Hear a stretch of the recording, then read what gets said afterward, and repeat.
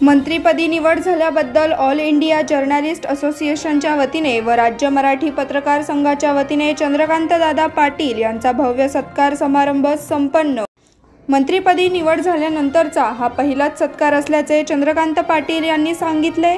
All India journalist association आणि महाराष्ट्र राज्य प मराठी पत्रकार संघाच्या वतीने गुरुवारी पाटील यांचा जाहीर सत्कार करण्यात आला. त्यावेळी ते बोलत होते कार्यक्रमाच्या अध्यक्षस्थानी लोकमतचे समूह संपादक Vijay Baviskar all India journalist असोसिएशनचे राष्ट्रीय अध्यक्ष अशोक वानखेडे दैनिक पुढारीचे निवासी संपादक सुनील माळी महाराष्ट्र राज्य मराठी पत्रकार संघाचे राज्य संघटक संजय भोकरे महाराष्ट्र राज्य मराठी पत्रकार प- संघाचे प्रदेशाध्यक्ष किरण जोशी उपस्थित होते. या निमित्ताने प्रदेश अध्यक्षपदी किरण जोशी शहराध्यक्षपदी पंकज बिब्वे सांस्कृतिक विभाग प्रमुखपदी संदीप भटेवारा प्रसिद्धी प्रमुखपदी सागर बोदगिरे यांची निवड झाल्याबद्दल त्यांचे सत्कार देखील करण्यात आले. कार्यक्रम प्रसंगी युवा संवाद न्यूजचे संपादक धनराज गरड यांनी रेखाटलेले अर्कचित्र मंत्री चंद्रकांत दादा पाटील यांना भेट देण्यात आले. यावेळी युवा संवादच्या सहसंपादिका प्रतीक्षा शिंदे देखील उपस्थित होत्या. कार्यक्रमाचे आयोजन ऑल इंडिया जर्नलिस्ट असोसिएशनचे सर्व पदाधिकारी व पुणे शहराध्यक्ष समीर देसाई यांनी केले होते. यावेळी संजय भोकरे सुनील माळी यांनीही मनोगते व्यक्त केली. या प्रसंगी शेखर मुंदडा विनोद सातव आदी उपस्थित होते.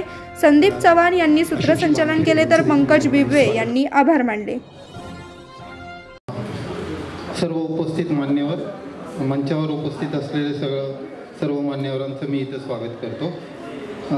ऑल इंडिया जर्नलिस्ट असोसिएशन आणि महाराष्ट्र राज्य मराठी पत्रकार संघातर्फे माननीय माननीय चंद्रकांतदादा पाटील उच्च तंत्र शिक्षण वस्त्रोद्योग संसदीय कार्यमंत्री यांचं सत्कार सोहळ्यासाठी आपण इथं जमलो आहोत. जे राजकीय परिवर्तन झालं त्या राजकीय परिवर्तनामध्ये महाराष्ट्राचा उच्च शिक्षा तंत्रशिक्षा या दोन्ही खात्याचा एकत्रित मंत्री आणि वस्त्रोद्योग मंत्री संसदीय कामकाज मंत्री अशी जबाबदारी महाराष्ट्राचे मुख्यमंत्री माननीय एकनाथजी शिंदे आणि उपमुख्यमंत्री देवेंद्रजी फडणवीस यांनी दिल्यानंतर माझा होणारा सत्कार बहुधा पत्रकारांचाच नाही तर एकूणच पहिला आहे. आणि पत्रकारिता क्षेत्रामध्ये अलीकडच्या काळात मला असं जाणवतंय की खूप नवखे लोक येत आहेत. आणि त्याच्या प्रशिक्षणाची आणि प्रशिक्षणापेक्षा त्यांच्या बांधिलकीची commitment towards society this is not only profession हे मिशन आहे. आणि त्या भूमिकेत जाण्यासाठी केवळ विद्यापीठातला पत्रकारितेचा कोर्स पूर्ण नाही त्याला काही वेगळी मेहनत घेण्याची आवश्यकता आहे. आणि त्याचं सेंटर हे मुंबई पुणे आहे की जिथे तिथल्या पत्रकारांना व्हिजन देण्याचा प्रयत्न होईल.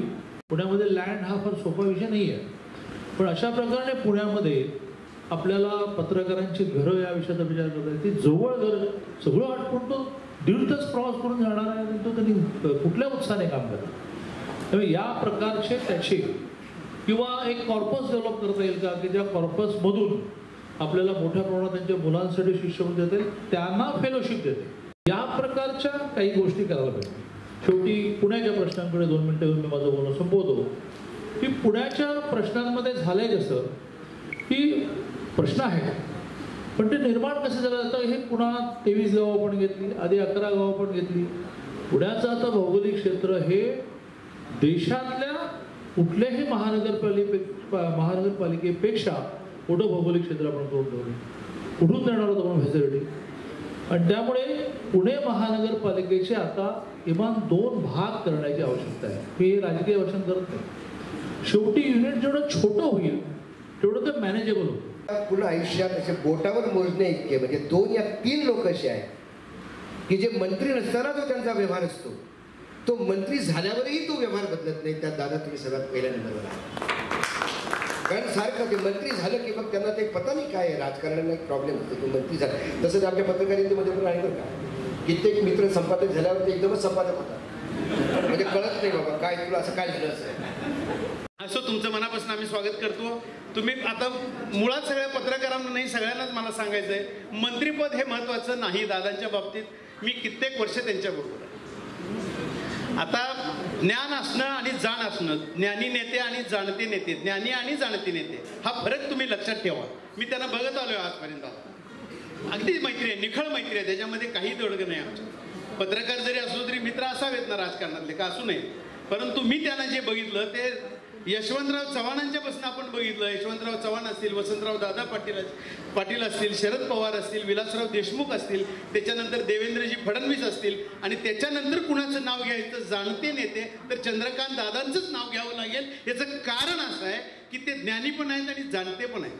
आज समाजासाठी आपण आहोत लोकांच्यासाठी आहोत आणि नंतर आपल्या कुटुंबासाठी आहोत आणि नंतर स्वतःसाठी आहोत असं ते जगत आलेले मी स्वतः बघितलेलं आहे. त्यामुळं मंत्रीपद दादांना असो अथवा नसो आता मराठवाडा असेल कोकण असेल विदर्भ असेल सगळीकडे मी राज्य पत्रकार संघाच्या माध्यमातून फिरत जाताना मला अनेक पत्रकार भेटतात आणि सगळेजण सांगतात चंद्रकांत दादा आमच्याकडे आले पाहिजे. चंद्रकांत दादा आमच्याकडे आले पाहिजे.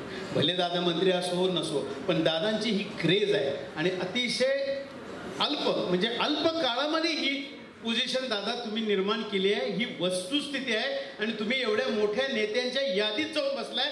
त्यामुळे तुमचं आम्ही कौतुक करतोय.